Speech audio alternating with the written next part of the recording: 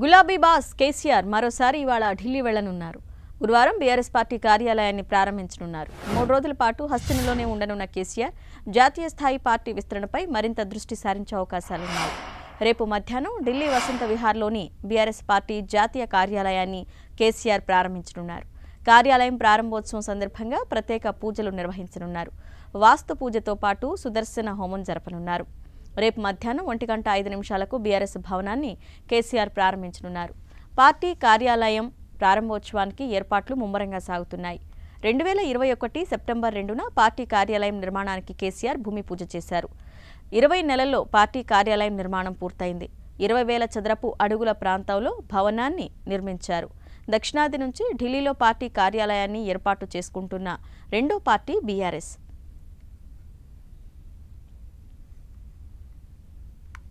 Right ఇదే అంశానికి సంబంధించిన అప్డేట్స్ మా ప్రతినిధి గోపి అందిస్తారు. గోపి చెప్పండి బీఆర్ఎస్ పార్టీ కార్యాలయ ఆవిర్భావానికి సంబంధించి ఏర్పాట్లు ఏ విధంగా చేశారు?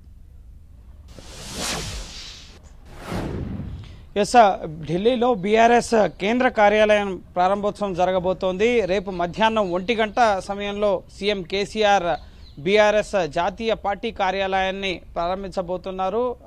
ముఖ్యంగా ఇటు వాస్తు పూజలు అలాగే కొన్ని పూజా కార్యక్రమాల అనంతరం ఆ, ఈ బీఆర్ఎస్ పార్టీ కార్యాలయ భవనం అనేది ప్రారంభమవుతుంది. బీఆర్ఎస్కి సంబంధించిన ఎంపీలు అలాగే మంత్రులు కొంతమంది కీలక నేతల సమక్షంలో పూర్తి స్థాయిలో రాష్ట్ర క్యాడర్ మొత్తం కూడా ఇక్కడికి వస్తుందని చెప్పి చెప్పలేం. ఇప్పటి వరకు అందుతున్న సమాచారం ప్రకారం ముఖ్యమంత్రి అలాగే మంత్రులు ఎంపీలు కొంతమంది కీలక నేతల సమక్షంలోనే ఈ కార్యక్రమం జరగబోతున్నట్లుగా తెలుస్తోంది. రెండు వేల అడుగుల చదరపు అడుగుల విస్తీర్ణంలో ఈ భవనాన్ని నిర్మించడం జరిగింది.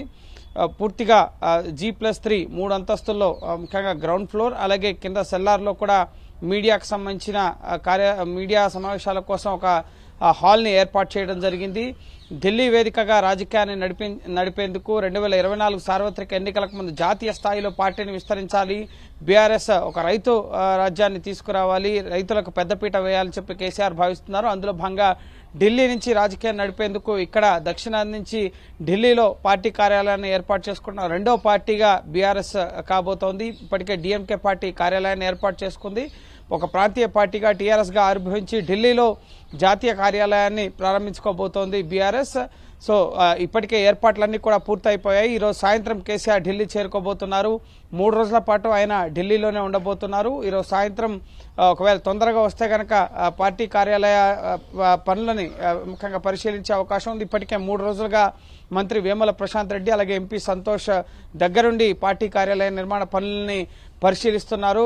తుది దశకు చేరుకున్నాయి పనులన్నీ కూడా రేపు సుదర్శన యాగం అలాగే వాస్తు పూజ తదితర కార్యక్రమాల అనంతరం మధ్యాహ్నం కేసీఆర్ ఈ బీఆర్ఎస్ జాతీయ పార్టీ కార్యాలయాన్ని ప్రారంభించబోతున్నారు. గ్రౌండ్ ఫ్లోర్లో పూర్తిగా నలుగురు బీఆర్ఎస్ ప్రధాన కార్యదర్శులకు సంబంధించిన కార్యాలయాలు అలాగే రిసెప్షన్ హాల్ ఉండబోతోంది అలాగే క్యాంటీన్ కూడా గ్రౌండ్ ఫ్లోర్లో ఉండబోతోంది.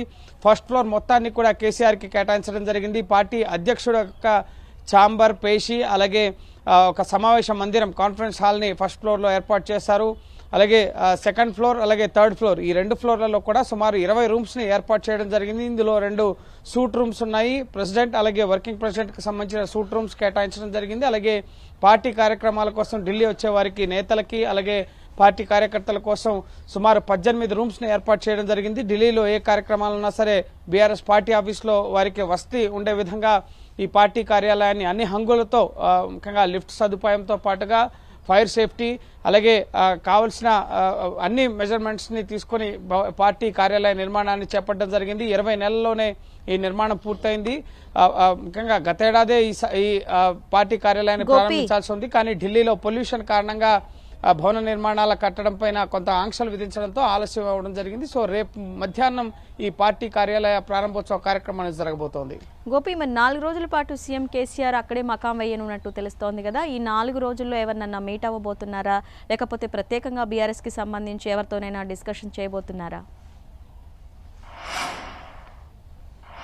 సార్ జాతీయ రాజకీయాలకు సంబంధించి ఇప్పటికే విపక్షాలన్నీ కూడా ఏకతాటిపైకి వచ్చే ప్రయత్నాలు ముమ్మరం అయ్యాయి. ఇటు నితీష్ కుమార్ అలాగే తేజస్వి యాదవ్ ఈ ఇరువురు కలిసి ఢిల్లీలో కొంతమంది కీలక నేతల్ని కలవడం జరిగింది. మల్లికార్జున్ ఖర్గే రాహుల్ గాంధీని అలాగే డి రాజా సీతారాం యేచూరిని ఇటు బెంగాల్ వెళ్ళి మమతా బెనర్జీని ఈ విధంగా అనేక మంది విపక్షాల నేతల్ని ఏకతాటిపైకి తీసుకొచ్చే ప్రయత్నం నితీష్ కుమార్ తేజస్వి యాదవ్ చేస్తున్నారు. సో ఈ కూటమిలోకి కేసీఆర్ కూడా వెళ్తారా? కేసీఆర్ని ఏమైనా ఢిల్లీలో ఇతర పార్టీలకు సంబంధించిన నాయకులు కలుస్తారా అన్న దానికి సంబంధించి ఇంకా స్పష్టత లేదు. సో ఖచ్చితంగా జాతీయ స్థాయిలో పార్టీని విస్తరిస్తున్నారు కాబట్టి ఇతర పార్టీలకు సంబంధించిన నేతలు ఎవరైనా పార్టీ కార్యాలయ ప్రారంభోత్సవానికి ఆహ్వానిస్తారా? ఇప్పటి వరకు ఎవరెవరిని ఆహ్వానించారో అన్న సమాచారం కూడా మీడియాకు లేదు. సో ఖచ్చితంగా ఢిల్లీలో ముఖ్యంగా ఈరోజు రాత్రికి చేరుకుంటారు. ఈరోజు ఎటువంటి అధికారిక కార్యక్రమాలు ఉండవు. రేపు పూర్తిగా పార్టీ కార్యాలయ ప్రారంభోత్సవం అలాగే అక్కడ కొన్ని గంటల పాటు కేసీఆర్ గడప గడపబోతున్నారు. అలాగే ఎల్లుండి ఐదవ తేదీ మళ్ళీ ఢిల్లీ పర్యటన ముగించుకుని ఆయన హైదరాబాద్ వచ్చే అవకాశం ఉంది. ఆలోపు జాతీయ స్థాయిలో ఇక్కడ ఎవరైనా అందుబాటులో ఉన్న నేతలు ఉంటే కనుక వారిని కలవడం ముఖ్యంగా రైతు సంఘాలకు సంబంధించి ఇప్పటికే కిసాన్ బీకేయు ముఖ్యంగా బీఆర్ఎస్కి సంబంధించిన కిసాన్ సెల్ని ఇక్కడ ఏర్పాటు చేయడం జరిగింది. ఇప్పటికే కేత్రి ట్రస్ట్ భవనం ఎస్పీ రోడ్లో తాత్కాలిక కార్యాలయాన్ని కూడా గత ఏడాది డిసెంబర్ పద్నాలుగున కేసీఆర్ ప్రారంభించారు. కానీ ఎటువంటి పార్టీ అధికారిక కార్యక్రమాలు ఇప్పటివరకు ఢిల్లీ వేదికగా జరగలేదు. సో శాశ్వత భవన నిర్మాణం పూర్తవుతుంది కాబట్టి సో ఖచ్చితంగా ఉత్తరాది రాష్ట్రాల్లో ఇటు ఢిల్లీ యూపీ పంజాబ్ అలాగే బీహార్ ఈ రాష్ట్రాల్లో పార్టీని ఎక్స్పాండ్ చేయాలని చెప్పి కేసీఆర్ భావిస్తున్నారు. ఇప్పటికే మహారాష్ట్రలో దూకుడుగా పార్టీ కార్యక్రమాలని విస్తృతం చేయడం జరిగింది.